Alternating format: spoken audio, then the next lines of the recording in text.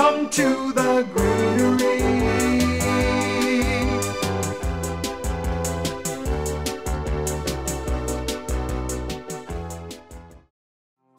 Hi, my name is Kirsten Segler from The Greenery, and in this segment we want to talk about a variety of tender succulent called the Echeveria. This is going to be just part one of many more parts to come. Uh, this is my favorite type of uh, succulent and uh, is the one that we have the most selection of.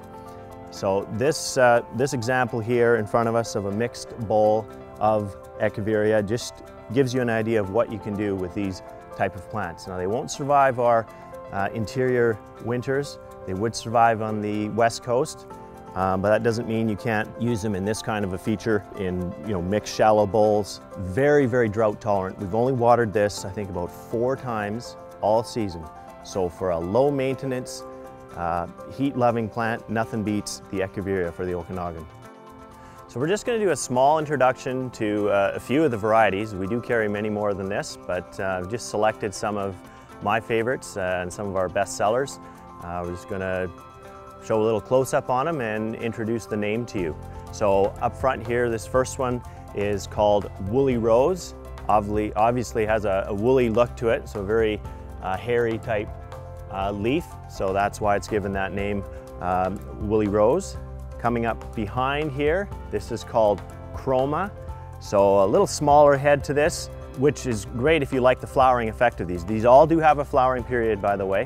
Uh, so the, the more heads you get in a plant, the more flowers you'll get. So you'll notice as this part goes on, there's gonna be some varieties with really large heads, while in that type of a plant, you won't get quite as many of these flowering stalks. So this again is called chroma, given that name because it does have a little bit of coloring on the uh, edges in the, in the leaf, little patches of kind of a chrome coloring that does appear at times.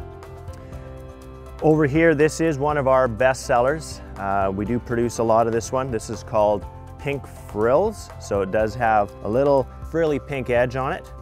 Good solid grower and uh, nice blooming habit to it as well. Up front here, this one's quite a rare variety.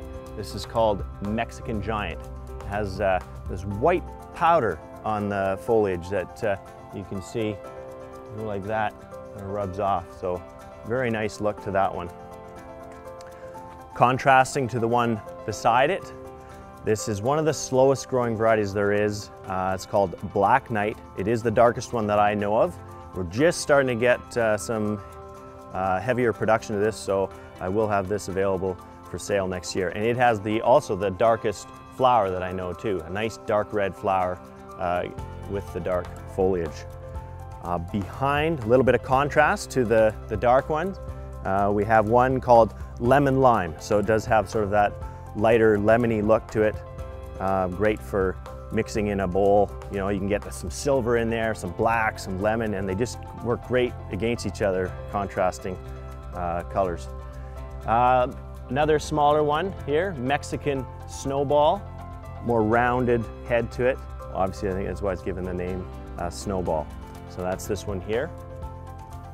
And uh, this would be uh, our bestseller. Now it's very similar. This one's called Metallica. Now it's almost identical to Pearl von Nuremberg. You know, the average person wouldn't be able to tell the difference between those two varieties, but uh, do think this one is just a shade darker, more pink in the core of it. But our most popular variety by far, Metallica.